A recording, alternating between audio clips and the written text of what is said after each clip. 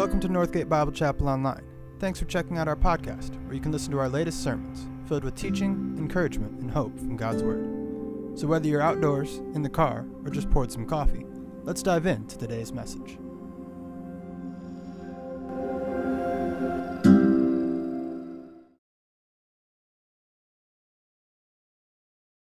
This morning, we're going to begin our study of the book of Ruth. It's going to be very interesting. It's also going to be challenging. We first need to meet the characters. Someone once said that you can't tell the players without a program. As we study Ruth, we're going to need to think about the characters that we meet. You know, what is their situation? And how do they deal with it? So, all of us, I think, have heard about epic journeys. I think Lord of the Rings uh, is an example of one, but I'm going to suggest that the book of Ruth is also a epic journey uh, of Ruth's moving from uh, going in and uh, getting married to uh, people from Israel who we'll meet later, and uh, going through a very, very difficult time of famine. You know, again, these are epic journeys. A similar example might be Homer's The Odyssey. In that case, um, it follows the Greek hero Odysseus, king of Ithaca, and his tr- journey home after the uh, uh, Trojan War. Uh, so, as we go, we're going to uh, realize that we say you can't tell the players without a program. And so we need to think about the characters that we meet along the way this week. And uh, how did, you know, supposed to go up, you know. So, how do they process this? So, you've heard me use the term an epic journey. Uh, and that's something big. I always think of something like The Lord of the Rings uh, as uh, a uh, fictional uh, example of an epic journey. And again, you can look at Homer's The Odyssey. And that was one where uh, uh, it's a myth. It's where the Greek hero Odysseus, king of Ithaca, and his journey home after the Trojan War, which was very long. It was took him 20 years to get home from the war. That is an epic journey. And the reason I bring this up is that Ruth's journey eclipses them all. So, as we start, uh, we need to look for clues in Ruth chapter 1. And you're going to do the same thing in the other chapters. But there's some things for you to, to uh, look for. Uh, first is repeated words or phrases, and you're going to find those, but you got to watch. My favorite are surprises. When somebody, like uh, Ruth, does something that is unexpected. There'll also be explanations of events given by the narrator. Somebody wrote the, the uh, uh, book of Ruth. Uh, we don't know who did, uh, but they uh, gave us all the information that we need. And then, because we have such a loving God, uh, we want to watch for the Lord taking action. Sometimes it happens at unexpected places. Another one is to watch for the mention of the word kindness, because kindness helped Ruth get through her journey. There's also, you'll also see later on references to somebody called a kinsman redeemer. I want to think about what what that kinsman redeemer does and how it affects us today. Because indeed, uh, Ruth was pivotal uh, in the Old Testament. And then the other, uh, the last one I have here is to look for contrasts between the beginning of the story, where we first meet uh, uh, the Israeli family that uh, started out on this uh, epic journey, and then look at the end of the story. It's, it's quite a tale. Indeed, it is a, a, great story. So, next I want to uh, help you figure out where does Ruth fit into the history, especially the, uh, uh the uh, timeline of the scriptures. And what we see is that uh, there was a time up uh, from the possession of the land that you see in the, on the uh, uh, left hand side to the, the, the period of the kings. You know, we start thinking of King David here. And in the interim, there was the period of judges. And so Ruth comes in right at the end of the period of Judges and before the period of the Kings. So now we know where she comes in. So someone once said, you can't tell the players without a program. You need to know who people are. And so I want to introduce you to the key people in this time of famine. It uh, really tested the faith and perseverance of all those who lived through it.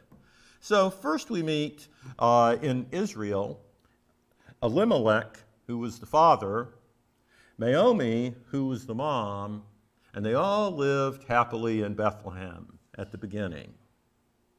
And they had two sons. One was Mahlon, and the other was Chilion. And they were Epaphrathites. I always struggled over that one. Epaphrathites from uh, uh, Judah. It was a, uh, one of the sub tribes. And the problem was they were facing a big famine in the area around Judah and beyond. I mean, think about it. We're, we're so used to going to Wegmans, and uh, we kind of grump when uh, our favorite uh, choice isn't there, but there's always another one. Uh, we're going to see it wasn't like that for, uh, for Ruth and her companions. You know, and they simply couldn't just go to Wegmans. You know, we take that for granted. And so here they were with no food in their hometown. And so they decide to go look for better options. And they said, well, maybe it'll be better in Moab. Uh, spoiler alert, it wasn't. But uh, they went to look there. And I found something interesting. When you start thinking about Moab, uh, it was really a pretty mountainous, uh, desolate place. Israel was mountainous too, but uh, you know there was uh, enough water and the like. Moab was much more uh, more uh, desolate, and so I, I thought it was kind of funny when a uh, shoe company had a boot for going into real, you know. Technical places that you wanted to climb, and they called it the Moab. You know, it, it's you know not a place that's going to be your first uh, your first uh, uh, destination vacation. So uh, we've met the we've met the family, and so we have to ask the key question: What happened in Moab? So again, uh, this is a uh, an epic journey, and so they've decided, uh, uh, Elimelech and Naomi have decided uh, there's no food here in Israel. We're going to go see if it's better in, uh, in Moab. Spoiler alert, it wasn't. Um, and so along the way, their two sons, Mahlon and Chilion, married wives in Moab. And hint, Ruth was one of these wives.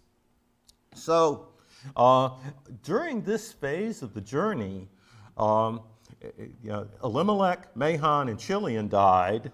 That left uh, Naomi, Ruth, and the other uh, servant that had gone with them, Orphan, Orpha, destitute.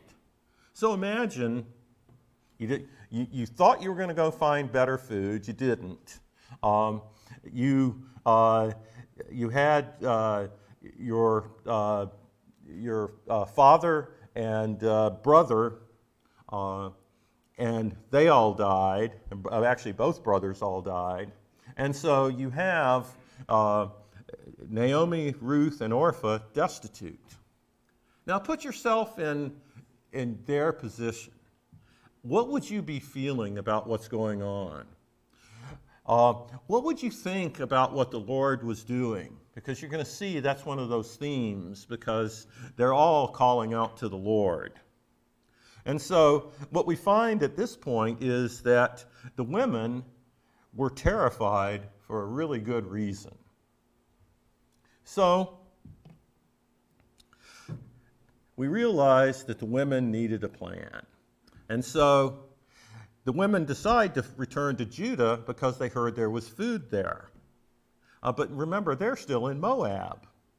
And uh, Naomi realizes that she's old, her two sons are dead, she has nothing to give her uh, two daughter in laws, and uh, uh, she uh, decides that she should be left behind.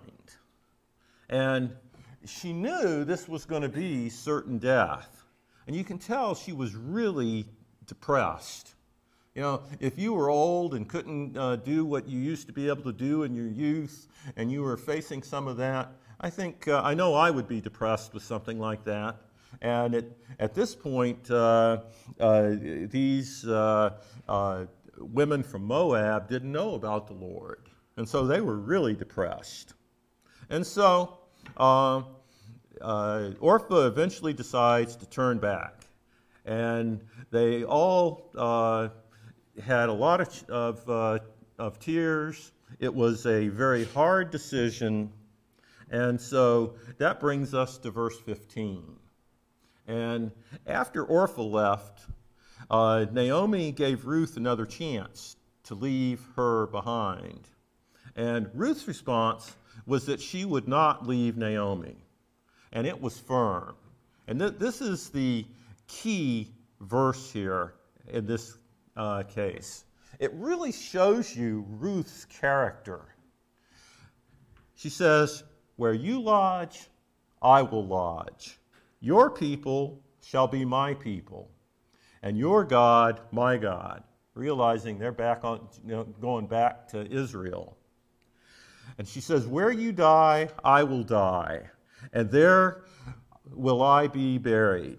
May the Lord do to me and more also, if anything but death parts me from you. That is quite a, a declaration. And this was a woman from Moab, but she had seen what had been in Israel. And consider how Naomi uh, responded to that. And we read, and when Naomi saw that she was determined to go with her, she said no more. Basically, Ruth saved Naomi's life. So, in verse 19, we pick up the action where Naomi and Ruth are walking back to Bethlehem. Now, think about it. What do you think they were talking about on the way back? I'll give you a, a moment to think about that. And finally, they make it back to Bethlehem. And guess who shows up? Naomi's friends. And what I found interesting is that Naomi thought God had forsaken her. She, confused, she accuses God of testifying against her and bringing calamity upon her, and she had jumped to a conclusion. Now, I think a lot of us might have made that same mistake because she really did, Naomi really didn't hadn't processed all of this properly. And in verse 22, we see that Ruth and Naomi got to Bethlehem in the time of barley harvest. Now, guess what? That was a big deal. There was food back in Israel. They weren't going to starve. And that was great news. So, like most epic journals, we have a cliffhanger.